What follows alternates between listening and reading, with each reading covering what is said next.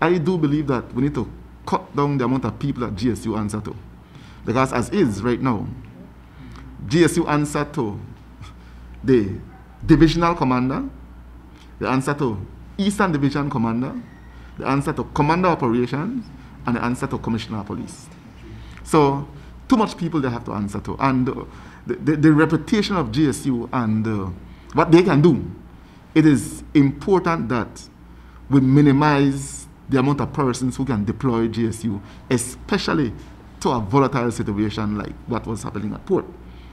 And so my directive is now that once there is any civil disobedience or any eh, situation of a sensitive nature, the only person who will deploy GSU will be the Commissioner of Police, nobody else. So if the commander of GSU were to get a directive from anybody below the commissioner to be deployed, the commander of GSU will have a responsibility to call the commissioner and ask if the commissioner have given such directive, just to ensure that they're on the safe side. Now we expect that with Mr. Joseph coming in as the new commander of GSU, you all know Yao Joe, a very humble fella. Um, well, he have a wealth of experience in training.